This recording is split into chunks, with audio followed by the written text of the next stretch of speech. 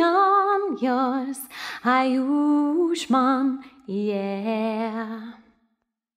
One happy birthday dot com.